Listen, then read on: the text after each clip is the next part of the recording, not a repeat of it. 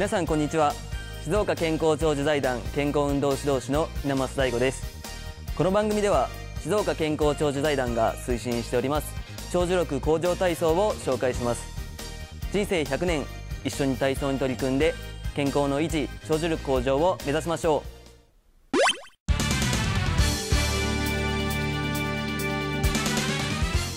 う。さあ今回は肩こり予防のためのショルダーフライを行います。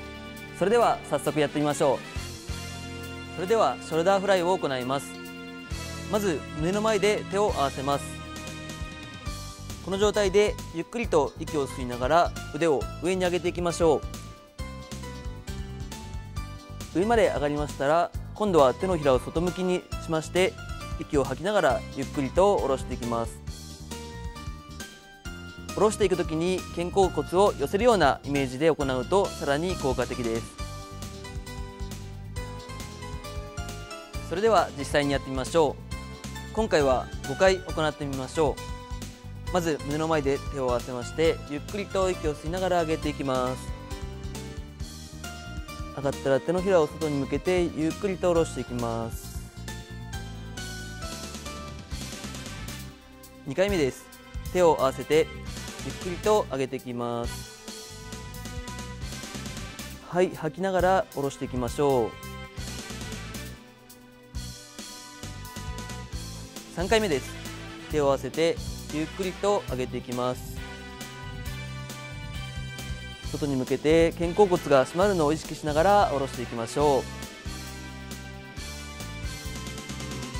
う。4回目です。手を合わせて息を吸いながら上げていきます。上がったら手を外向きに向けて吐きながら下ろしていきましょう。最後もう1回です。手を合わせてゆっくりと上に上げていきましょう。それではゆっくりと息を吐きながら下ろしていきます。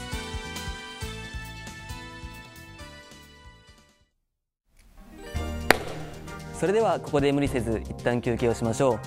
映像を見て心も体もリフレッシュしてください。水分補給も忘れずに。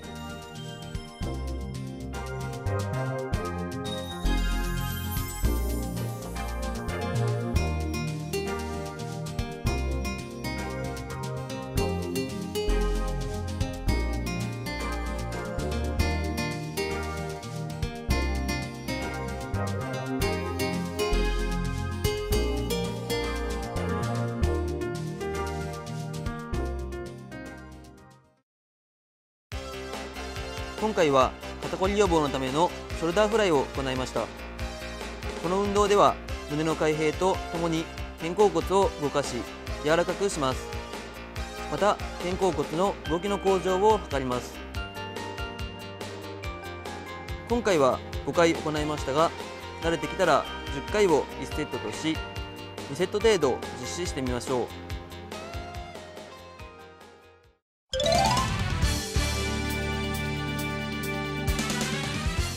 さあ今回は肩こり予防のための肘回しを行います。それでは早速やってみましょう。それでは肘回しを行います。襟首を掴んで、え、肩を中心に肘を大きく回していきます。前回しができましたら今度は後ろにも回していきましょ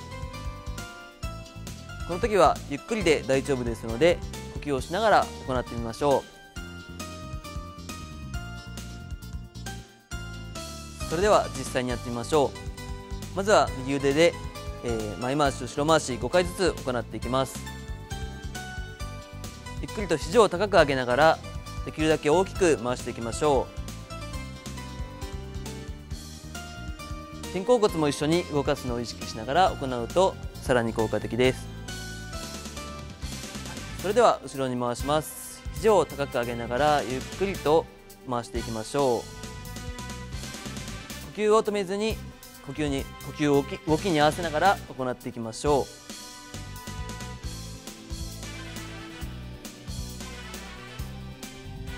それでは反対も行います。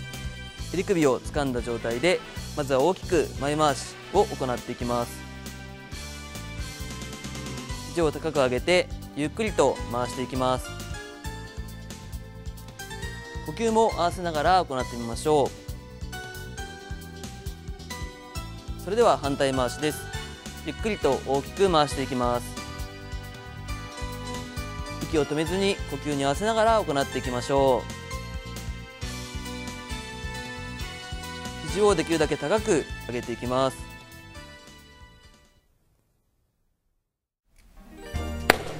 それではここで無理せず一旦休憩をしましょう。映像を見て心も体もリフレッシュしてください。水分補給も忘れずに。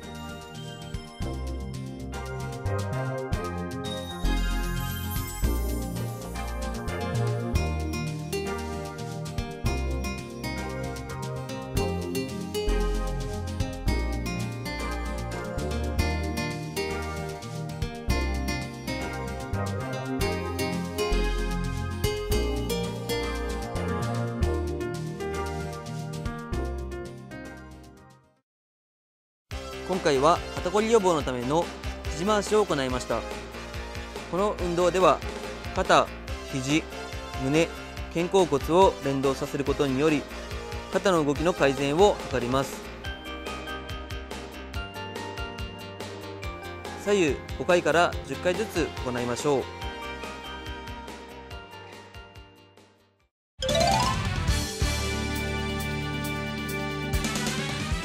さあ今回は肩こり予防のための肩の上げ下ろしを行います。それでは早速やってみましょう。それでは肩の上げ下ろしを行います。ゆっくりと肩を上げ上がりましたらゆっくりと下ろしていきます。肩を上げるときは息を吸いながらぎゅーっと肩をすぼめるように行い下ろすときは息を吐きながら胸や肩甲骨も一緒に下ろしていくようなイメージで行います。それでは実際にやってみましょう。今回は10回行います。まず1回目です。ゆっくりと肩を上げ下ろしていきましょう。2回目です。肩を上げ息を吐きながら下ろしていきます。3回目です。息を吸いながら上げて吐きながら下ろしていきます。4回目です。ゆっくりと上げてゆっくりと下ろしていきます。5回目です。ゆっくりと上げて下ろしていきます。6回目です。ゆっくりと上げて胸や肩甲骨も一緒に下ろしていきましょう。7回目です。息を吸ってあげな上げながら吐きながら下ろしていきます。8回目です。ゆっくりと上げてゆっくりと下ろしていきましょう。9回目です。ゆっくりと上げて下ろしていきます。最後もう一回行いましょう。ゆっくりと肩を上げて息を吐きながら下ろしていきます。それではここで無理せず一旦休憩をしましょう。映像を見て心も体もリフレッシュしてください。水分補給も忘れずに。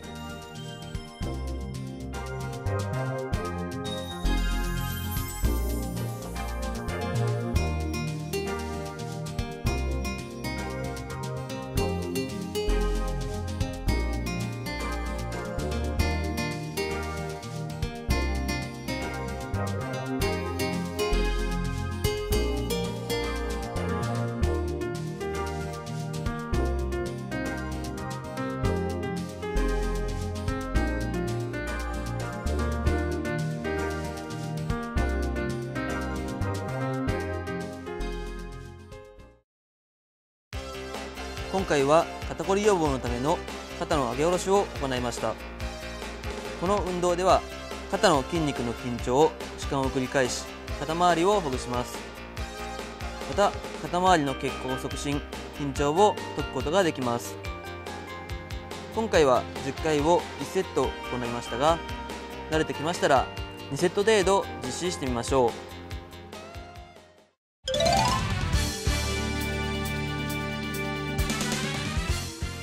さあ今回は肩こり予防のための胸背中のストレッチを行います。それでは早速やってみましょう。それでは胸背中のストレッチを行います。まず手のひらを上に向けて肩甲骨を寄せながら胸を大きく開きます。この状態で5秒程度呼吸をしましょう。次に胸の前で手を組んで肩甲骨を開いていきます。この時もおへそを見るようにして5秒程度キープしていきましょう。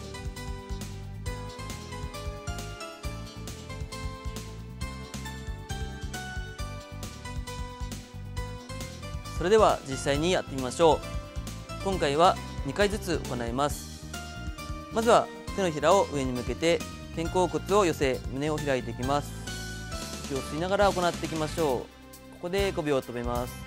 1 2 3 4 5次に腕を胸の前で組んで背中を丸めるようにして肩甲骨を開いていきます1 2 3 4 5もう一回行います手のひらを上に向けて息を吸いながら肩甲骨を寄せていきます1 2 3 4 5腕を組んで息を吐きながらおへそを見るようにして肩甲骨を広げていきましょう。1 2 3 4 5それではゆっくりと戻っていきます。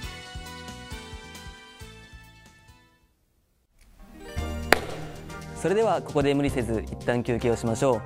映像を見て心も体もリフレッシュしてください。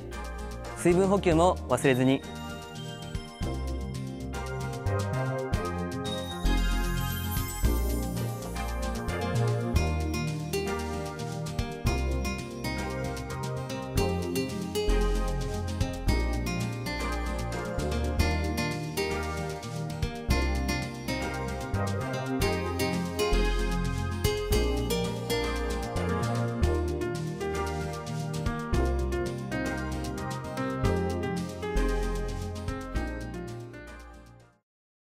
今回は肩こり予防のための胸背中のストレッチを行いました。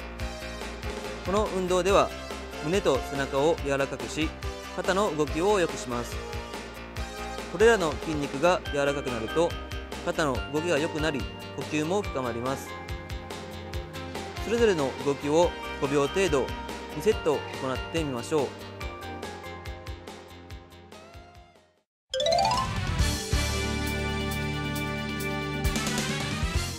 さあ今回は肩こり予防のための首のストレッチを行います。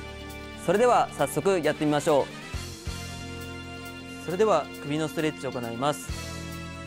体の中心を意識しながら首を前後や左右に傾けていきます。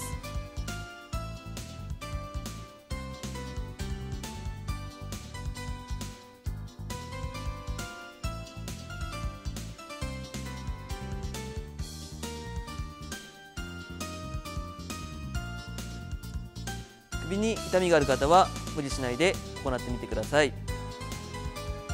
それでは10秒ずつ行ってみましょう。まずは前に倒していきます。1 2 3 4 5 6 7 8 9 10それでは上を向いていきます。首が痛い方は無理しないでください。1 2 3 4 5 6 7 8 9 10ゆっくりと戻していきます。今度は横です。肩が一緒に上がらないようにしましょう。1 2 3 4 5 6 7 8 9 10戻していきます。反対です。ゆっくりと倒して1 2 3 4 5 6 7 8 9 10ゆっくりと戻していきます。それではここで無理せず一旦休憩をしましょう。映像を見て心も体もリフレッシュしてください。水分補給も忘れずに。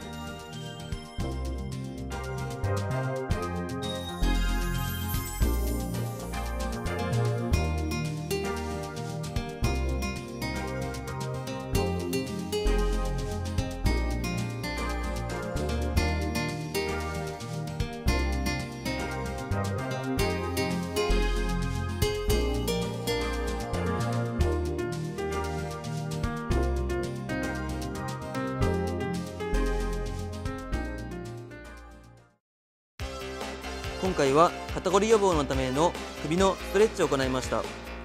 この運動では首の血行を促進し姿勢の崩れからくる首の緊張やこりを軽減します。